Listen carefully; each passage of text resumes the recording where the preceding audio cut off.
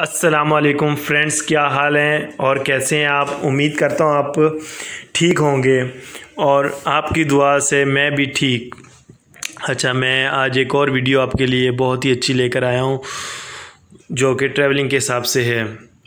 अच्छा उससे पहले आप मेरा चैनल सब्सक्राइब कर दें और घंटी के बटन को भी दबा दीजिए, ताकि जैसे ही घंटी के बटन दबाने से ये फ़ायदा होगा कि आप, जैसे मैं नई वीडियो अपलोड करूँगा, उसका नोटिफिकेशन आपके पास आ जाएगा।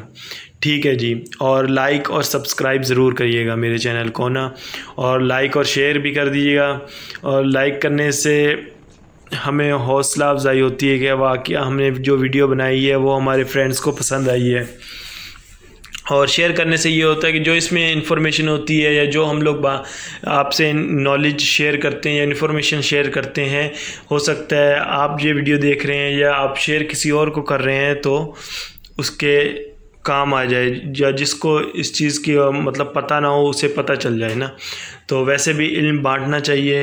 इल्म बांटने से बढ़ता है, जबकि दौलत बांटने से कम होती है। इल्म बांटने से बढ़ता है।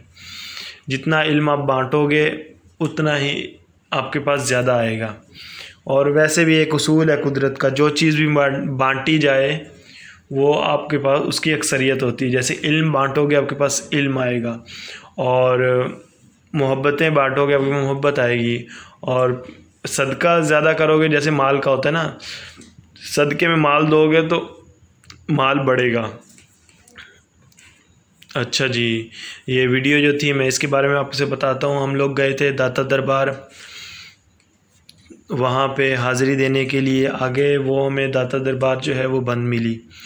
लॉक थी करोना वायरस की वजह से उन्होंने लॉक किया हुआ था दरबार को। तो हमें फिर मायूस वापस घर आना पड़ा।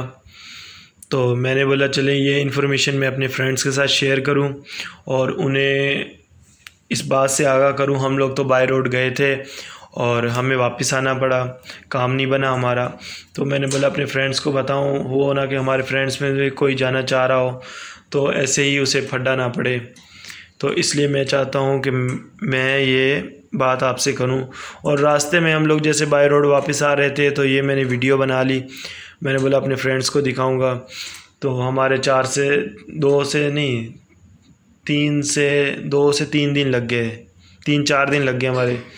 एक दिन आने का, एक दिन जाने का, फिर वहाँ पे मतलब तीन दिन लगे हैं हमारे ना। तो और खुआरी भी बहुत ज़्यादा हुई है। थकान होगी बैठ बैठ के सारा दिन, सारी रात फिर ड्राइव करते हुए भाई ड्राइव कर रहे थे। कभी वो ड्राइव कर लेते थे, कभी मैं ड्राइव कर लेता था। तो हम दोनों बारी बारी करके ड्राइव कर लेते थे। और जब मैं ड्राइव करता था, वो रेस्ट कर लेते थे। फिर वो ड्राइव कर लेते हैं। आपको पता ही है, फिर बैठ के सफ़र करना कितना मुश्किल होता है। और अमूमन जो बंदा ड्राइव कर रहा हो, क्योंकि उसको सेफ्टी ज़्यादा होती है, उसकी आँख लग गई, अल्लाह ना करे या उससे कोई हल्की सी भी मिस्टेक हुई तो पूरी गाड़ी फिर जाती है। और हाईवे पे तो वैसे भी स्पीड 90 होती है 90 होती है और 110 90 100 इस स्पीड पे चलते हैं, इससे कम नहीं चलती और दूसरी जो पीछे बसें आ रही हैं, उनकी भी स्पीड एक हल्की सी गलती की वजह से बहुत कुछ हो जाता है और बहुत ज़्यादा नुकसान हो जाता है। तो बस ये मैंने वहाँ का व्यू थोड़ा सा कैच किया कैमरे में। वीडियो बनाई, मैंने आपको दिखाऊँगा। ये देखें हमारा पाकिस्तान कितना खूबसूरत है।